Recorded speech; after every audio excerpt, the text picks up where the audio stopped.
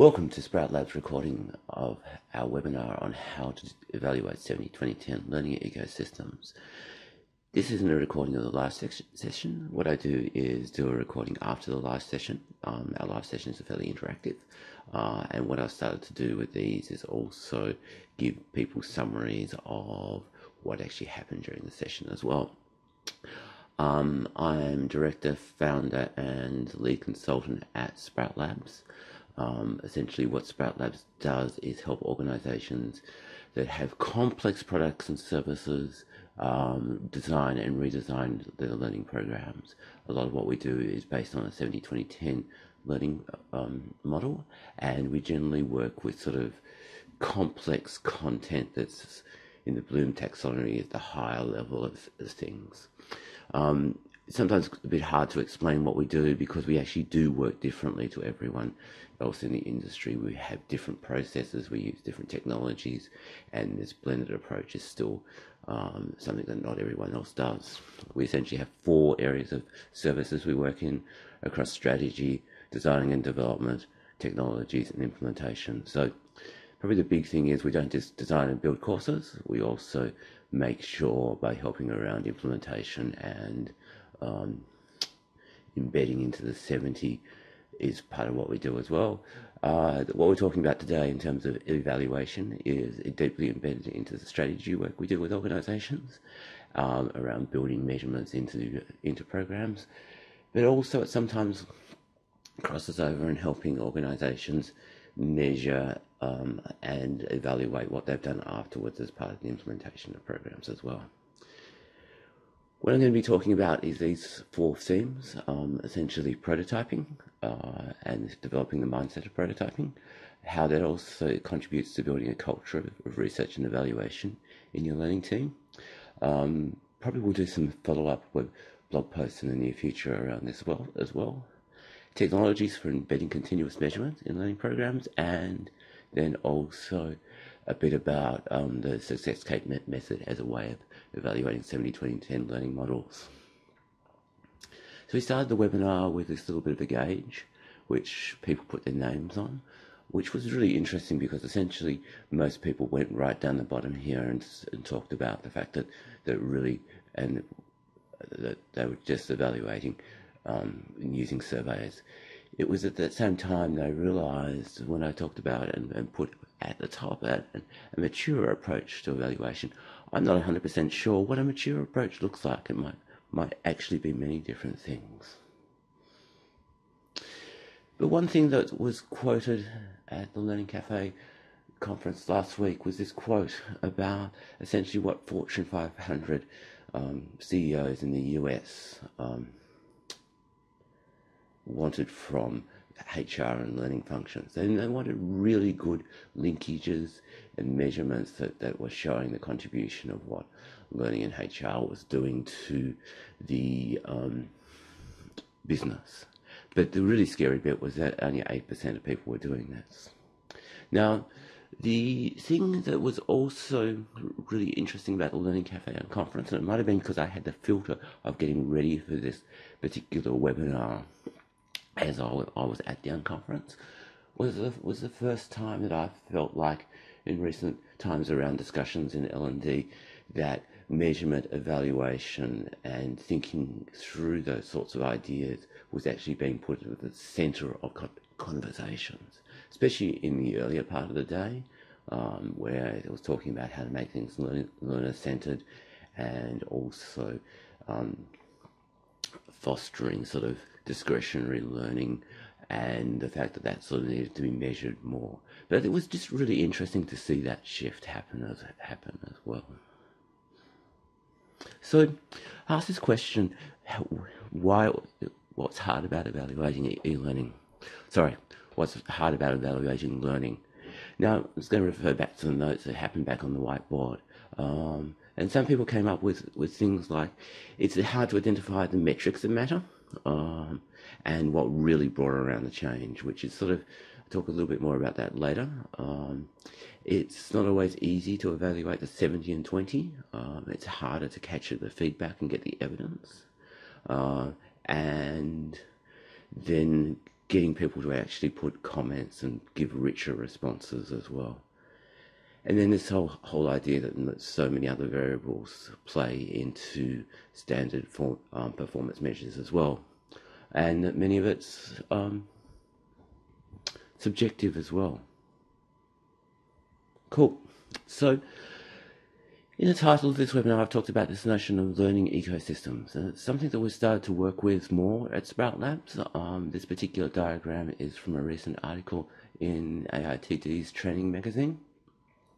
Essentially, a learning ecosystem for me is giving me some freedom to be able to work with, design, and talk about um, programs that are beyond courses. And it really lends itself nicely to that moment of working beyond courses.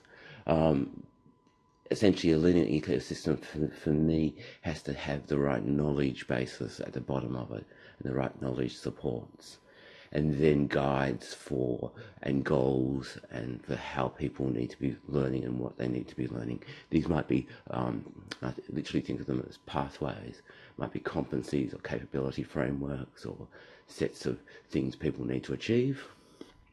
People, and this is one of the things that people quite often forget when they move to strongly workplace learning programs, people need places to practice new skills, fail, learn, change this in some ways becomes actually what formal learning is about. This becomes activity based and becomes a place for people to practice rather than some way for people to gain knowledge and the knowledge supports gets removed from the training experience.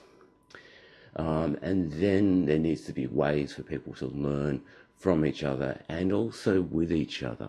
Um, and the thing with this is that it means that there's multiple different parts to it the way I think about it is that it's not a straight line of a course equals an outcome. And this was what was interesting when people were talking about and put into the whiteboard this idea that one of the challenges of evaluating e-learning, sorry, challenges of evaluating learning is this sense of you don't just do something and then something happens. So many other things contribute to the, to the problem as well. One L&D person that we work with who used to work as a soft skills trainer, as a vendor on the vendor side, said that as a vendor, he would never encourage a client to measure his performance by an evaluation because he just felt that there were so many other factors at play in a client's implementation that he couldn't control that that was sort of an unfair thing for him to be trying to trying to do. So I think even in traditional event-based learning programs, we still have this sense of not a one thing happens and then an outcome happens. It's, a, it's normally a series of things that actually equate to things. The thing is also traditionally what we've been doing is we've been measuring inputs, we've been measuring learning rather than actual business metrics and outcomes. And what we need to be doing is measuring the um, outputs instead what is the results rather than what is the inputs. The one word that I find really useful for thinking through this process is the word impact. And to be constantly asking why a program's being thought about, what's the impact of it going to be, as it's going to be designed and different features are being thought about for the design as it's being built, what's the impact of this? And then the evaluation question of, well, what's the impact been? Uh, it's a really simple word, I think, to be able to keep in the back of our minds as we work to actually keep on doing a whole, is this activity going to have a real impact on the business? Now, Sprout Labs has what we call our Learning Way Working Framework, which is based on essentially, and the process behind the Learning Way Working Framework is based on what's called design thinking. And design thinking is really a process of taking what sort of user interface product designers and graphic designers do and applying it to um, other business problems. Um, at the core of it, there's two types of activities that are different to a lot of other processes. Developing a really rich um, understanding of your end learners um, and users, quite often design thinking is called being user centered or, or learner centered. But then there's this, this other thing, which is really the interesting thing about the evaluation. At the, at the core of design thinking is this notion of prototyping and testing and evolving. Now, it's been really interesting showing this particular diagram to a number of um, especially instructional designers, and they really wrestle with it because they sit there and say there's no implement implementation step, um, there's no uh, um, evaluation step, um, and it's because they're so embedded into that notion of um, adding and it being a sort of staged approach. So what happens here, and startups do this extremely well, they move very quickly through this prototype, test, evolve, back to prototype, and it becomes a fairly constant, quick loop rather than a whole let's build something that takes us six months to build. It's going to take us six months to six months to a year to run before we can get evaluation data. Um, and then we, we, we do a change on it. We might do some continuous improvement during that, but it doesn't get sort of broken down into smaller chunks or explored and really taken as a, as a data driven approach. It's a more a process driven driven approach. So this and it does have some challenges for everyone. This sort of process of doing the quick and dirty prototype to get something up up and going, and it does, does mean taking a few different risks as well. Now, the interesting thing is that some of this design thinking approaches really comes from product design, and I've got a deep. I can sit there and go, yes, I understand how to prototype an e-learning module but prototyping a 70-20-10 learning model is more difficult, especially if with the programs that have less formal learning in them um, and are more sort of building a sort of scaffolding in infrastructure. So the, what we've been doing and what we've been applying is some techniques from an area of design thinking called um, service design, where people are thinking about essentially um, organizations products delivered as services. One of the most powerful things that the service design area uses is stories to be able to communicate what they're doing, and then um, journey maps as well. I'll show a learning learner journey map in a, in a moment. Um, if you listen to or been to some of our webinars, you will recognize the learner journey maps. The other thing is the next level of fidelity and complexity is role plays these don't have to be a traditional sort of everyone role playing. They can actually be more like a walk through. This happens, and this happens, and this happens, so that people get a sense of how the bits come together. And then finally, the when something's sort of starting to be solid, um, being able to pilot it. Um, now, some of the best L&D people I've worked with um, always call innovations um, pilots, um, just because of the scale of organisations they work with. Sometimes their pilots have 10,000 learners in them. Um, the learner stories, there's a few things we've actually really learned from using these.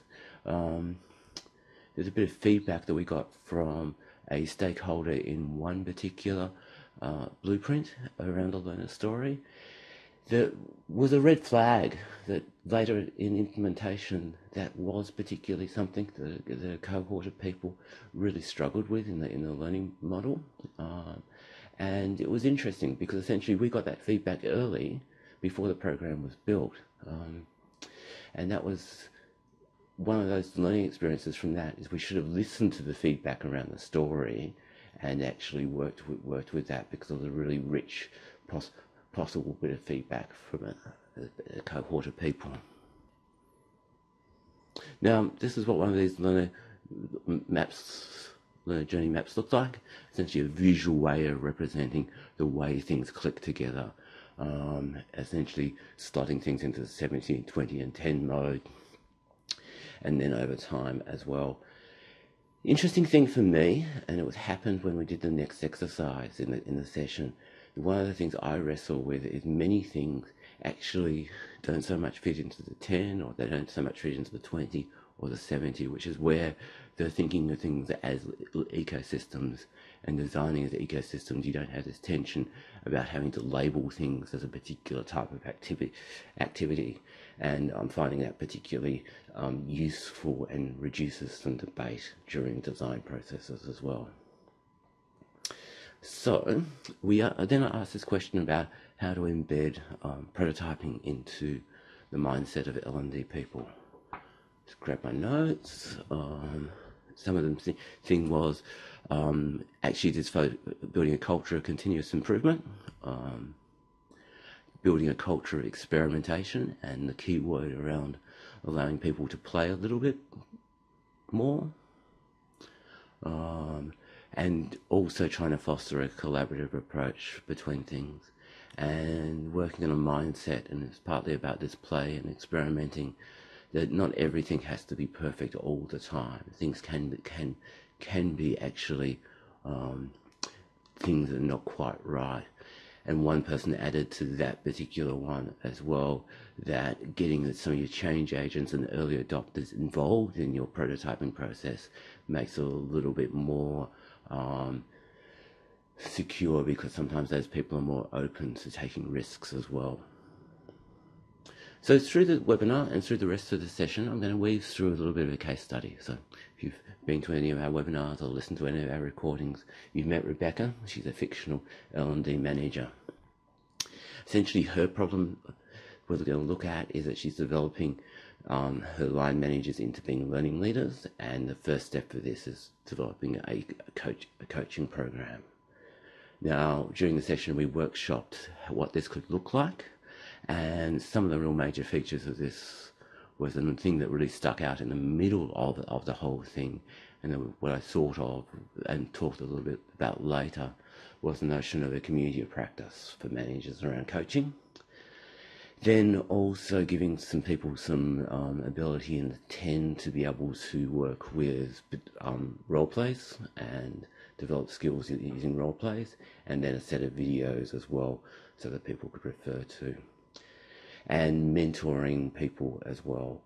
One of the really nice things that was talked about was actually, um, in, and it's sort of a nice example of something that crosses the 70 and, and 20, is direct observations of managers doing coaching sessions and then giving feedback to them.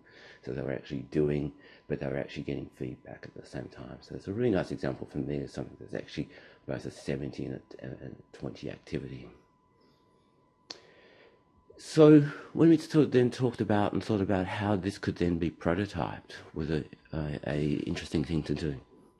Because essentially what we sort of talked about was, well, actually one of the things that would make this a little bit easier to prototype is actually just working with a smaller cohort of people.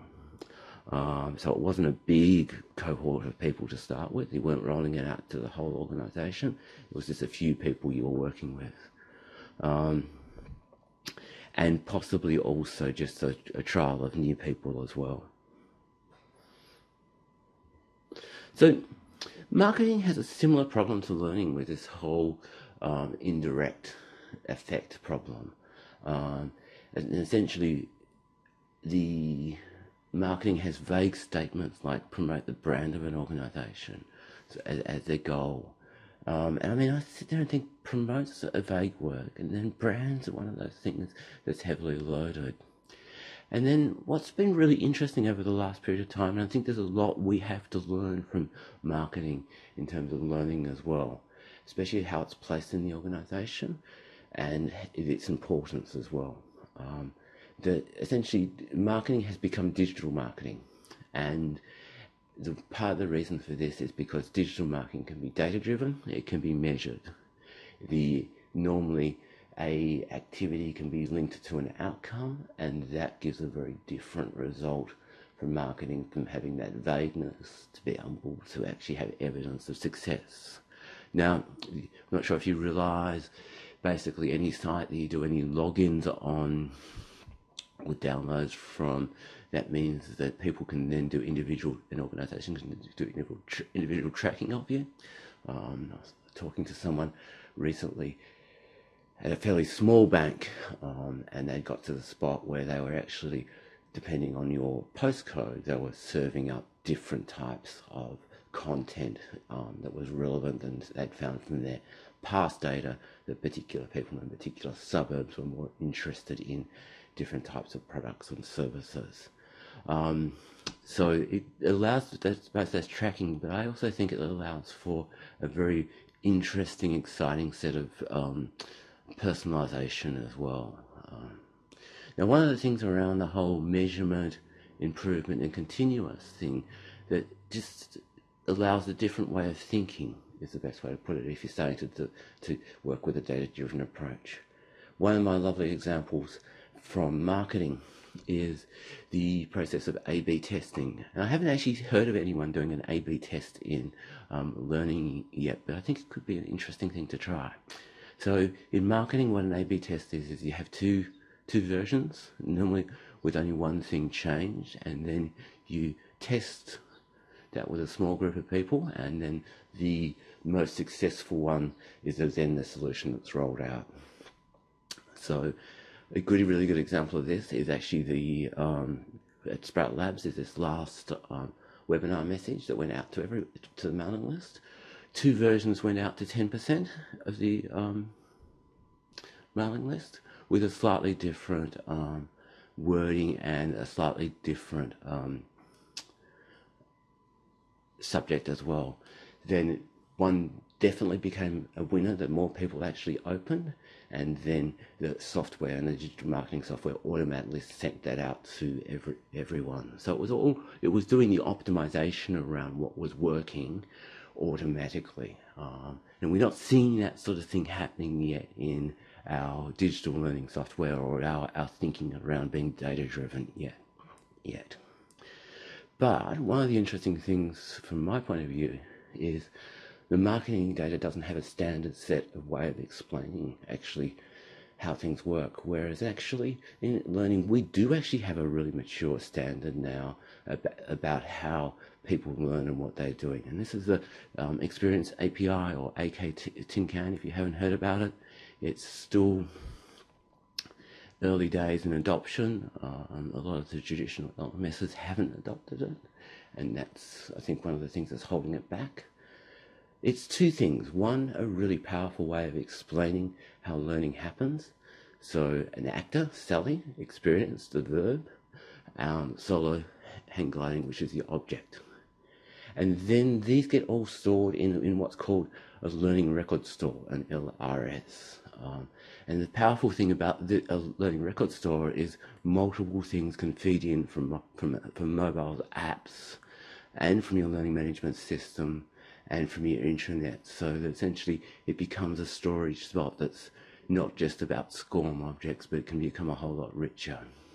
Have actually seen a number of people work with it really in a really powerful way, ways with mobile apps, um, and I think there's some possibilities between being able to do some data analysis by learning people around the intranet as well to be able to figure out well, what are people struggling with. I do have an issue with it when we've used it. Um, it's at a risk that it's really collecting a lot of data, but it's still really collecting data about the learning experience, not the business outcomes. So there's a real risk to that. And you can see that being sort of addressed in some of the software. So some of the learning record stores allow business metrics to be added, and then the reporting actually allows a correlation between saying, okay, so if we've got this many completions in this area, what's that metric doing and how that is how how is that being affected? Now, this is also my time to talk about a really elegant idea that I've heard a couple of times, and it was hinted in the whole when I talked a little bit about what people were seeing as, as a challenge. It's actually sometimes the challenge is finding the business metrics. Um, so I encourage you to work with uh, the rest of your organization and whoever does some of your reporting to try to find what business metrics are being recorded and then which ones could actually be used and linked to L&D programs. And then only try to choose one metric that you're affecting rather than sitting there going, oh, we're affecting all of these. That's where you get into that mushy spot where it becomes more complicated to measure. So the other side, the other thing that I'm seeing as a really interesting idea and, and way of working is um, learning logs or logs of learning. Um, essentially, what they are is learners, employees doing quick sort of write ups um, every day or every time they do an activity of what they've done, um, what they've learned, and what they've done dif- differently. essentially this increases reflection. Um, it's possibly the best way so far I've seen of making learning visible. Um, and we've tried it in one pro program to start with. And uh, to be honest, I was a bit apprehensive. It was me who suggested it. Um, and I was still not quite sure if the learners would sit there and go, oh my God, I've got to write in this, this reflective journal thing. Um, actually, the response has been completely different. They're not writing one or two sentences, they're writing hundreds of words. They're loving it, they're feeling like it's actually giving them something that gives them evidence about what they're doing and moving forward, and it's helping them track in their own mind how they're learning and how they're improving and, and gaining an understanding of the complexity of the content. Um, I've also personally started doing it in an area uh, of Sprout Labs that I'm trying to improve and found a similar sort of thing of actually articulating what I've learned really embeds it very quickly into new practice and also makes me realize where sometimes mindsets and behaviors stop my behavior, stop me get, getting in the way of making the improvement that needs to happen. Um, some of the technologies that can be used for this um, just a simple Word document. Um, Microsoft OneNote can be used as well. Actually, internal blogging systems could be used as well. And the other one um, is the 7020 tool from Fortior could be used for the same sort of process as well. So we did an interactive activity around what data could be collected around the um, coaching program. Some of the things that came back up are sort of impressions of before and after, um, and measurements and records around conversations, um, 360 reviews. Um, also, what the other other suggestion was so use cultural evaluations and um, use those as the benchmarks. Um, what was really nice was no one suggested that the amount of coaching sessions be the measurement, so that was really refreshing from my point of view to hear.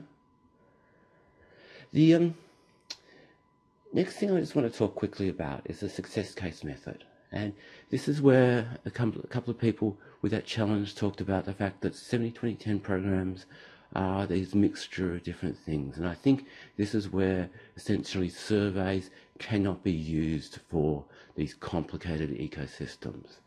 And the success case method was started by Robert Brinkerhoff. Robert Brinkerhoff. It's really a method that's actually um, a case-based and a, a narrative-based method. Um, and it's really a way that to capture those sorts of non-linear things and possibly some of the factors and inputs that happen below the surface and don't get picked up in business metrics or um, surveys as well. So what it is is this sort of five-step process. Um, one, what should the impact be? um, that impact word again and thinking that through and then trying to find who, who has been, been the high performers and the low performers to, and using that through surveys or through business metrics. An example of this is a program um, we've been working on over the last few years where essentially was to increase the business driver was to decrease the time to competency so time that people get through a program was the measurement. And that's a fairly easy one to be able to pick up actually who got through faster and who's, who's going slow. Then to interview people uh, um, and interview those high and low performers and essentially ask the questions and look for the factors about what really has affected um, what they're doing and then analyze and look for patterns and then tell the stories. Now, the stories don't necessarily need to be the actual stories of the high or low performers. What we've found is it's actually easier to build fictional people that are possibly a combination of all the factors to sit there and say, so the high performers have these sorts of conditions happening and these sorts of things really affect and have been the things that have made the difference and then the low performers, this is the things that are getting in in in their way. So you actually, at that telling that story stage, you really depersonalize it. So an, example of this is when we did the um, value, uh, the evaluation of the overseas trained doctors pro- program for GPs. Um, it was we could fairly easily find out who the high performers and low performers were because essentially the high performers were the people who'd got through the exams and the low performers were the people who hadn't got through the exams or hadn't even sat the exams yet. Um, we did the interviews. Uh, what was fascinating is as we came through with the interviews, we saw something that we didn't actually ask any questions about in the interviews. It was about um, diagnostic diagnosis of skills and then customized coaching. And essentially, everyone that was a high performer that had got through had had someone do a really good um, diagnostic with them about where their skill shortage was and to provide really targeted, focused training, support, and coaching around what that particular thing was. And it was interesting because we had, we saw it in the first in, first couple of interviews, and then we kept on seeing it, it, it as well. So it became a really really clear factor really quickly. Now, this success case method does have some pros and cons. And this was a, a good session to run because essentially we, we've seen it be, especially in strongly technical environments, people react to it of, oh, I actually want the graph. I want the, I want the figures. I don't want the stories. So some of the pros and cons that we talked about were um, things like in terms of the the cons were um, time frames, and it does take a little bit more time, um, and managers actually not wanting to hear the stories; they just wanting quick numbers. So uh, lots of pros for it, um, and it can get telling the stories gets the emotional side of it, um, and then really tapping into the elements for success. The other thing is that it focuses really on the performance of the learner, not the facilitators. Um, and also, um, someone hinted that there's probably actually a process which actually helps the learners articulate what's worked for them as well. Okay, so that actually sort of brought us to the end of the end of the session. A few people sort of talked about um, some of their takeaways that they could actually then work on further with things like um, how they could prototype better and then also apply this um, success case method as well. Um, thank you everyone for um, listening to this webinar and I hope you found it useful. If you've got any questions, um, my inf contact information is on the website or maybe an email message you sent, sent through as well.